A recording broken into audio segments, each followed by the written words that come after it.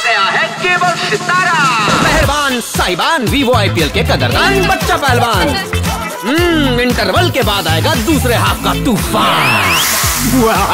Darling drama है suspense है climax है। है डिस्क्यू है। गब्बर है छोटे। हिटमैन है हेलीकॉप्टर का टेक ऑफ़ है। किंग है प्ले ऑफ़ है सुपर ओवर है। लेकिन पहला हाफ़ तो हम मिस कर गए। कोई नहीं छोटे। पहला हाफ़ तो सिर्फ़ झांकी है। Vivo IPL